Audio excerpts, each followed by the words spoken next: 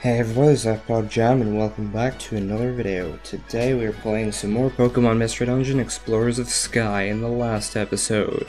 We went out to the Northern Desert in hopes of finding a time gear, but we didn't, which is unfortunate. But in this episode, we're going to be probably looking for more locations for a time gear, or something, I don't know. and that brings us back to today. Presently, the Great Dusknoir and I are working out a new strategy. While we develop this strategy, we ask you to search for time gears on your own initiative. That is all. Alright everyone, work hard again today. Hooray. We're supposed to search on our own today, James. Where should we go? Hmm, I wonder. We can search all we want, but we don't have a clue. Oh, wait a second. Yesterday when we were out there,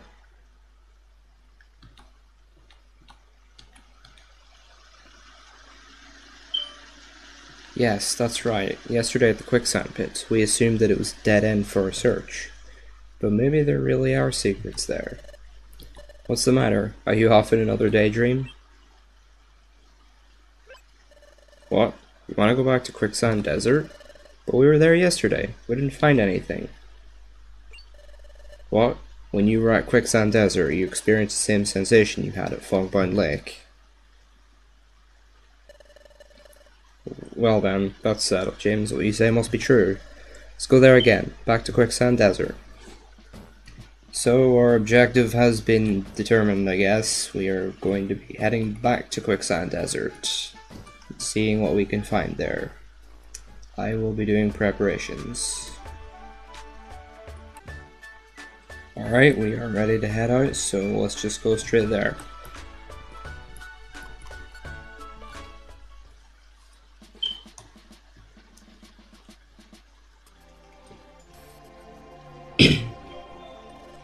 Well, we're back.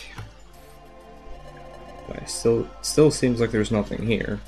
Just this white sand stretching out in front of us. Quicksand pits, obviously. Is there something more here? What kind of secrets are hidden here? It's very thin, but I can still feel it. This place. I know it somehow. But looking out over this, I have to admit, Shinx is right. There really is nothing here but the desert and the quicksand pits. And aside from those pits, there's nothing. Wait, wait a second. If there's only quicksand, that's the key to this mystery. There's no way forward. Or is there? What do you think? Where should we look, James? What? What, what did you say? You want us to jump into the quicksand?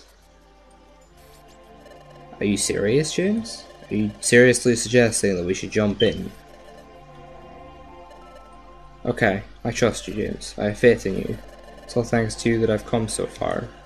During our first exploration.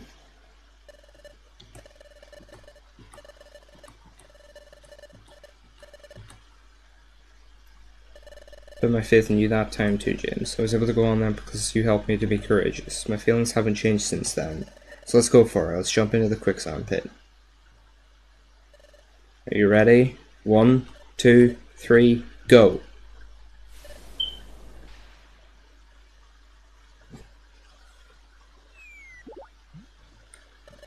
Ow, my backside. Where are we? Is this a cave? We fell through from up there. You were right. You were right, the secret swirled within the quicksand. Let's move it. It's time to go exploring, James. Let our time gear search begin. Indeed. Quicksand Cave. Oh boy. This place. This place sucks. Especially for me. I do not like this dungeon very much. And it's even worse now that I have two Technically three, because Larvitar could get hit by a ground type move, but many team members that are weak to the resident Pokemon. Um, and yeah.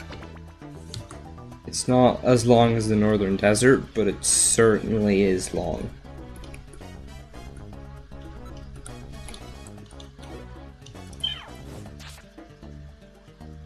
And Ninkito wants to join us.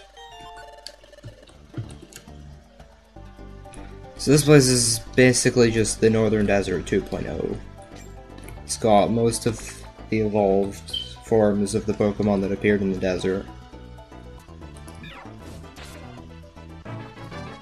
And Larvitar level 24.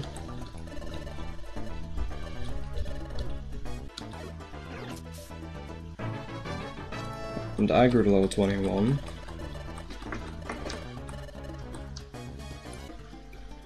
Yeah, this dungeon can be pretty dangerous. Oh, great. Uh, it's the fastest way back. Right, I'm just gonna send Negata back. Because I don't want to waste a Reviver Seed. As long as Shinx and Larvitar stay together, they should be fine. And they didn't stay together. Great. Wait. Let me eat this. Nice, perfect. Yeah, warp, warp traps are dick moves. Especially on that particular tile. To level 22.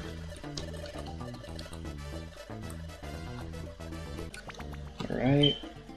Almost there. I, uh, shit. So, let's see, I want to take out this. Okay, I guess I don't. We did not KO any of them.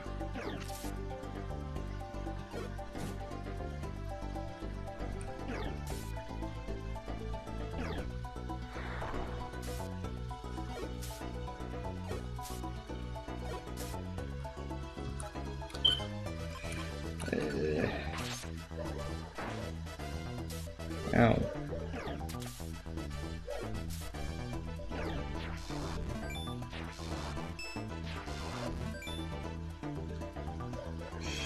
This is trouble. Let's turn off Thrash.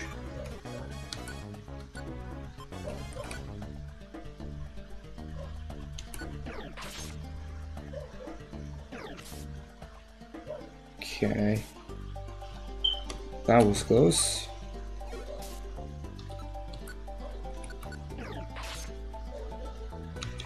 Right, that could have gone better. This is trouble. This is looking right. This is troublesome.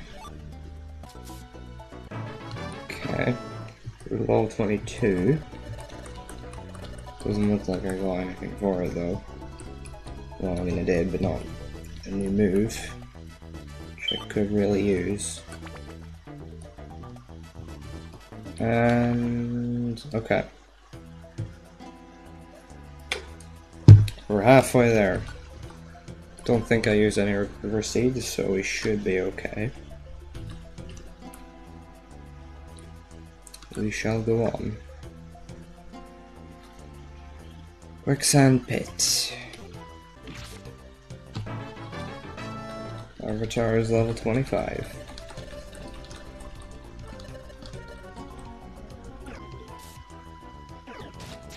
Oh. No,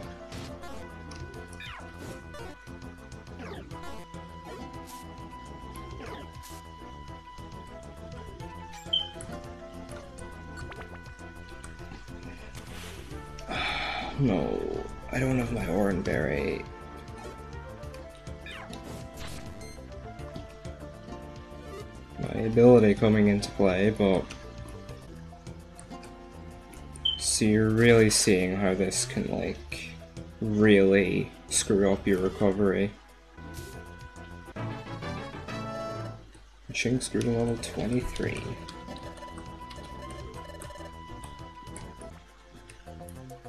We're getting there. I shouldn't have opened my mouth. This is dangerous.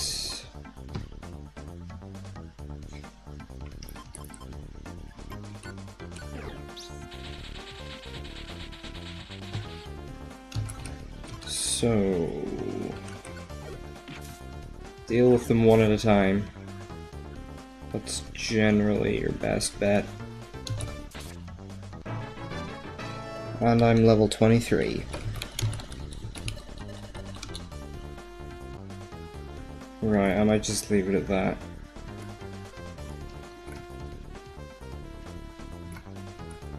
Oh no.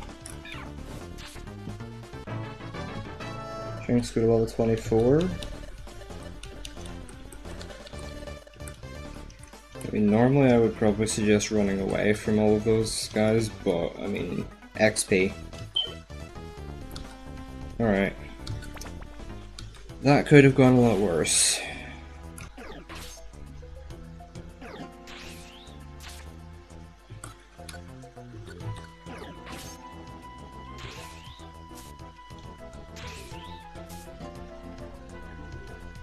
That's not good.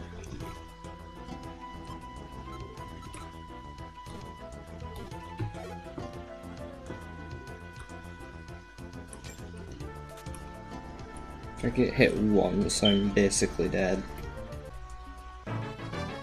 Larvitar is level 26.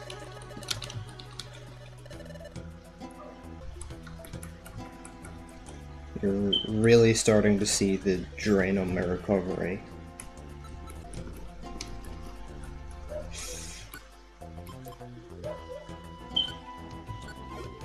Yeah, I'm just gonna have to eat the hit.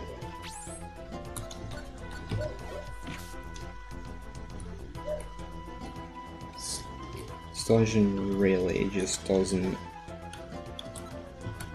have any mercy. Right, here we go.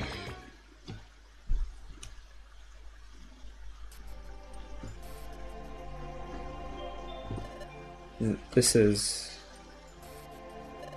fantastic.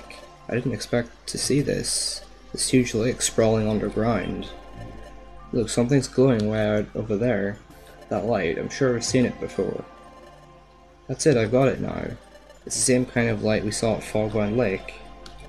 That means that light could be coming from Time Gear. We need to get a closer look at it, James. Well, it went dark. Wait. What? Who are you? What? Who said that? What? Why did you come here? Why? We just came to look for a time gear. Stay away from the time gear. If you won't leave the time gear alone, I'll stop you. Who, who are you? I'm Mesprit. Here at the deep underground lake, I protect the time gear. Protect the time gear? I won't allow you to disturb the time gear. Get ready. Misunderstanding. So we have a boss battle with Mesprit. Uh, right. I don't think I have any items that are really particularly helpful here. No, not really. No, I'm gonna have to do this with some good old... I burned him. Uh, let's set Shinx using Bite. I Guess I'll just use Ember, because Stab.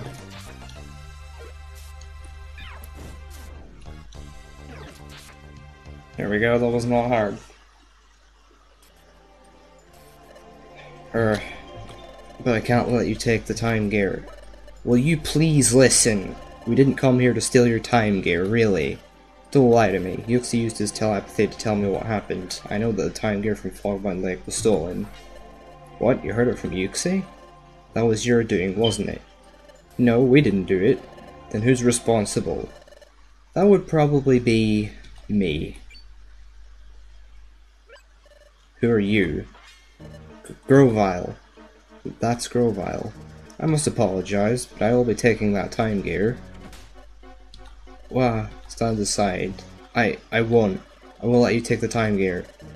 I have no choice then. Ugh. You lost that fight, you sustained serious damage, so don't push it. You're not getting by us. We won't let you take the time gear. Alright, sorry for this. Uh, he's so fast. Forgive me, I have no quarrel with any of you, but I'm taking that time gear. Uh, the time gear, that thief is taking it. I, I'm sorry, Uxie must not have been talking about you. It was that Pokemon, I'm sorry for doubting you.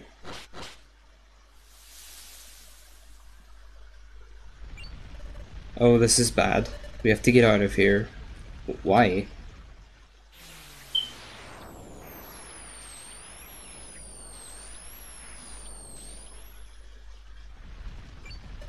Well, what's happening? It's happening because the thief took the time gear, so time in this whole area. Time will stop all around the underground lake. What? If we don't hurry, we'll be trapped in time. Hurry, run with all your might.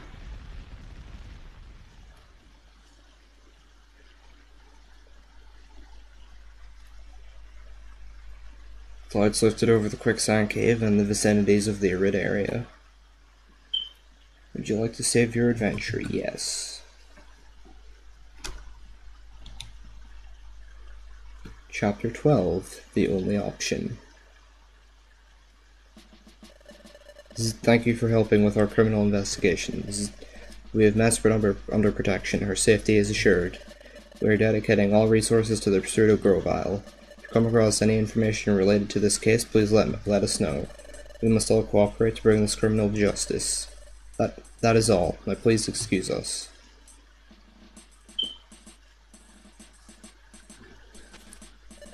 My, my, I'm absolutely astonished. So there was a lake deep under the northern desert, and that wasn't all. The time gear was also down there. Yes, but about that time gear, Grovyle stole it, and we failed to even slow down Grovyle. In the end, that's the same as doing nothing at all. That's not true, by golly, you all did great work.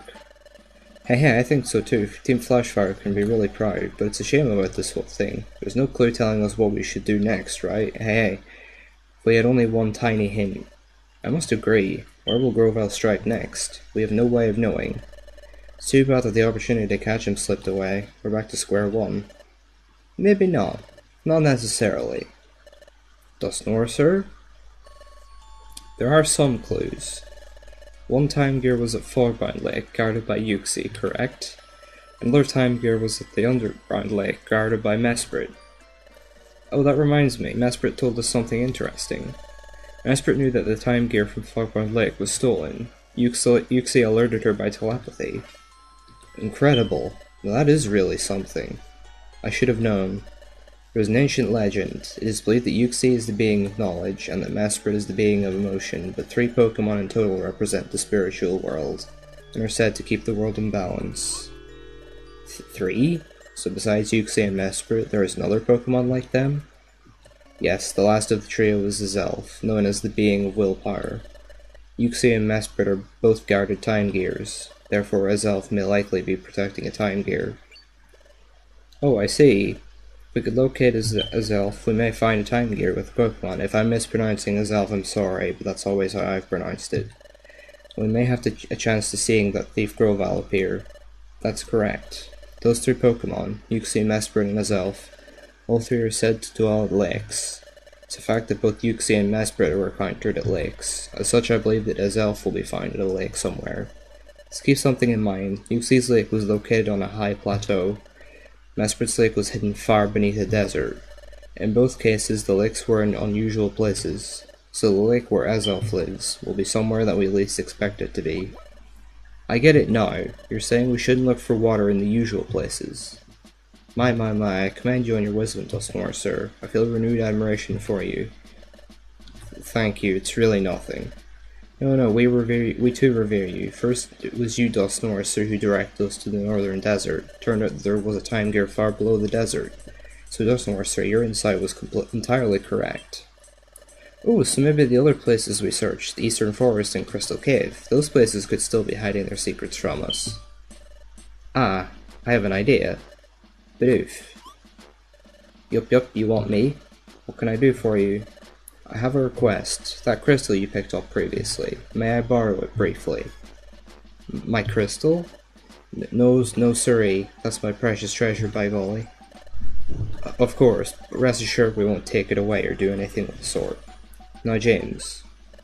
There's something I would like you to do, James. Please touch Bidoof's crystal. She touched the crystal. The secret remains hidden in Crystal Cave. If James touches the time crystal, time gear, huh, may trigger the dimensional scream. It may trigger a vision. I see, that's what this is about. Dimensional scream? What's that? Special ability that James has. Sometimes when James touches something, then James has a vision of an event in the past or the future that involves it. Oh my gosh, really? Hey, hey, hey, that's really- there's really an ability like that? I desperately wish to borrow the crystal because of James's ability. Please, may we? Well, now you have to. Okay, I can't refuse a reason like that. This crystal, what will it reveal? Everyone's watching. I don't know if I'll see anything, but I need to concentrate. Well, here it comes. Dizziness is starting. Uh, uh, no, I'll take it. Time gear. No, you can't take it. Never. That was... Grovyle was trying to steal a time gear. There was also another Pokemon. Was it Azelf? Anyway, the crystal did trigger a vision. Did you see anything, James?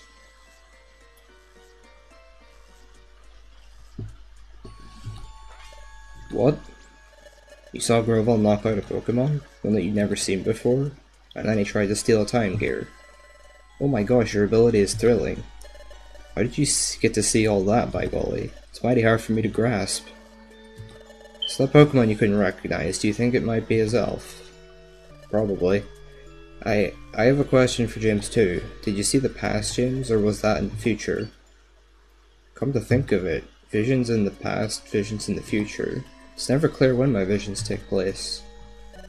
So you're not sure if it's in the past or the future. Well then, since it's possible to tell if the vision is of the future or the past, then James's vision may very, very well be of the past. In that case, Tiger may have already been stolen from there. Oh, you're saying we may be already be too late? I don't think so. Everyone please hold on. Yes, it is true that it may have been a vision of the past, but it could have been a vision of the future. If you will be so kind, could you remind us what Mesprit said, Shinx? Who informed Mesprit via telepathy that a time gear was stolen? If I recall correctly, did you say that it was Uxie? Hmm.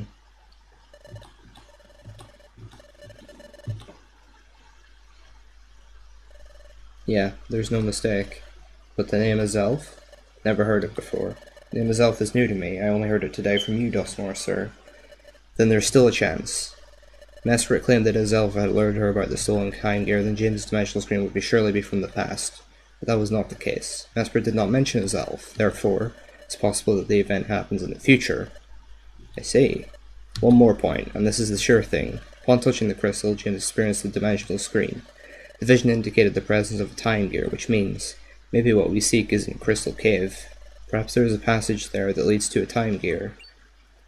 Yeah, maybe it is there. Course, it may already be too late, or it may still have time. As long as a chance remains, we must never give up. It's our only option. Hey, hey, absolutely. There's no other choice. We have to pin our hopes on this. Good thinking, Dusknoir, sir. Yup, yup. Oh my gosh, I'm all fired up with excitement. Let's go, everyone. Let's search Crystal Cave. Dusknoir, sir, there's only one thing to do, and that's explore Crystal Cave. Let's go. The whole guild will be involved. Onward to Crystal Cave. Guildmaster, please issue the call to duty. Guildmaster? Hmm, Guildmaster? Guildmaster, are you with us? Huh? Hey, you, you gotta be kidding. No, it, it looks like he's fully asleep, with his eyes wide open too.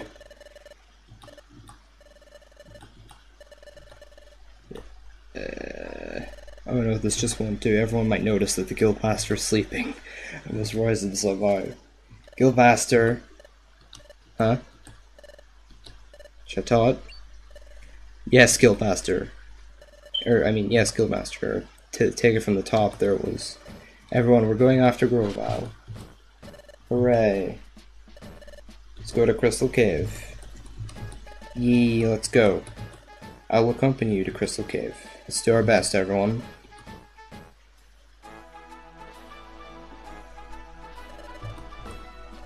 Get going to James. Alta Crystal Cave.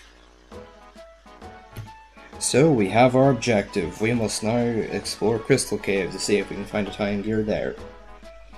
So that will be in the next episode. So I hope you enjoyed this episode, and if you did, be sure to leave a like, comment down below if you have any thoughts, subscribe for more, and I will see you guys next time. Goodbye.